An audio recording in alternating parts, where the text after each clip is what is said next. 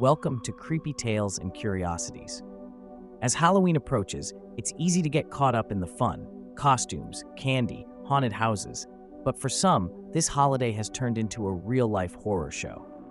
In this series, we'll explore some of the most chilling crime stories that occurred on Halloween night. These real life tragedies prove that the scariest things don't just go bump in the night, they're all too real. Our first story is one that has haunted parents for decades and forever changed the way we approach Halloween candy safety. In 1974, eight year old Timothy O'Bryan was excited to head out for a night of trick or treating in his neighborhood of Deer Park, Texas. Dressed up and eager to collect candy, Timothy joined his sister and friends as they made their rounds door to door. After they returned home from their Halloween adventure, Timothy begged his dad, Ronald O'Bryan, for just one more piece of candy before bed. Ronald handed him a Pixy Stix, one of the longer ones that Timothy had received while trick or treating. Eagerly, Timothy ate the candy, but within minutes he began feeling violently ill. He started vomiting uncontrollably and was soon convulsing on the floor. Despite rushing him to the hospital, Timothy tragically died shortly after arriving. Initially, it seemed like a nightmare scenario. Someone in the neighborhood must have laced candy with poison, sparking widespread panic about the dangers of Halloween candy. But what followed was even more horrifying. Investigators discovered that Ronald O'Bryan, Timothy's own father, had laced the candy with potassium cyanide. Ronald had taken out hefty life insurance policies on both of his children in the months leading up to Halloween, hoping to stage his son's death as part of a sinister plot to collect the payout. To cover his tracks, he had handed out poisoned Pixy Stix to his daughter and other neighborhood children, but none of the others ate the candy. The crime shocked the nation, and Ronald was eventually convicted of capital murder. He was executed by lethal injection in 1984, earning him the grim nickname the Candyman. In the Bronx, New York, in 1998, a harmless Halloween prank turned deadly. Karl Jackson, a 21 year old administrative assistant at Morgan Stanley, was looking forward to a quiet Halloween night. He and his girlfriend were on their way to pick up her son from a Halloween party when a group of teenagers targeted Jackson's car, pelting it with eggs, a common mischief night prank. Infuriated by the prank, Jackson got out of the car to confront the teens. What started as an argument quickly escalated into violence when one of the teenagers, Curtis Sterling, pulled out a 38 caliber revolver and shot Jackson in the head. He died instantly.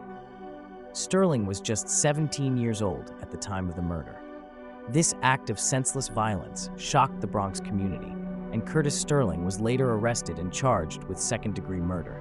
He was convicted and sentenced to prison. The tragedy highlighted the dangers of mischief night pranks gone wrong, especially when tensions run high. Jackson's death serves as a grim reminder that even a simple prank can escalate into deadly consequences.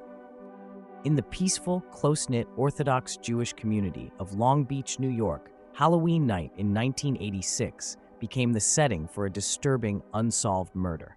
Chaim Weiss, a 15 year old student at the local Mesivta of Long Beach Yeshiva, was found bludgeoned to death in his dorm room early the morning after Halloween. Chaim was a popular and well liked student with no known enemies, making his brutal murder even more shocking. He had been struck on the head multiple times with a heavy, blunt object. What truly mystified investigators was the ritualistic nature of the scene. Chaim's body had been moved after the attack, and the window of his dorm room was left open, a practice in Jewish custom meant to allow the spirit of the deceased to leave. Despite interviewing dozens of students and community members, police found no clear motive or suspects, and no weapon was ever recovered. Some believe the murder was an inside job, while others speculate that Chaim's death may have been the result of a religious or ritualistic act. Over the years, the case has grown cold, leaving Chaim's family and the Long Beach community haunted by questions that remain unanswered. Even today, the death of Chaim Weiss is one of New York's most baffling unsolved murders. Halloween night in 2001 marked the last time anyone saw 21 year old Cindy Song, a student at Pennsylvania State University. That night, Cindy attended a Halloween party with friends, dressed as a bunny. The party lasted into the early hours of the morning, and Cindy was last seen being dropped off at her apartment around 4 a.m.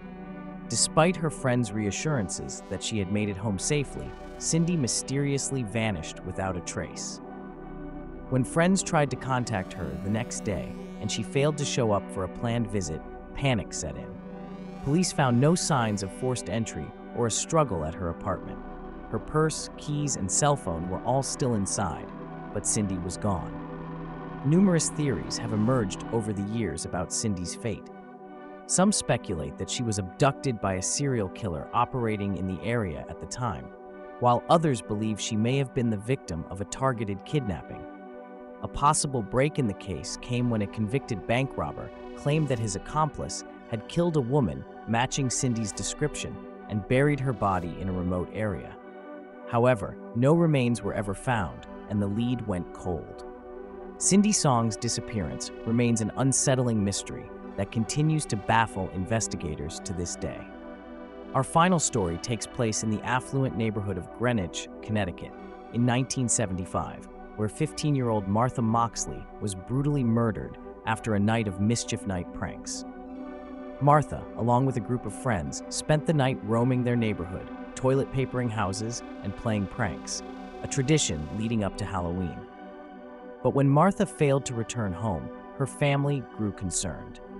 Her body was found the next morning, bludgeoned with a golf club on her family's property.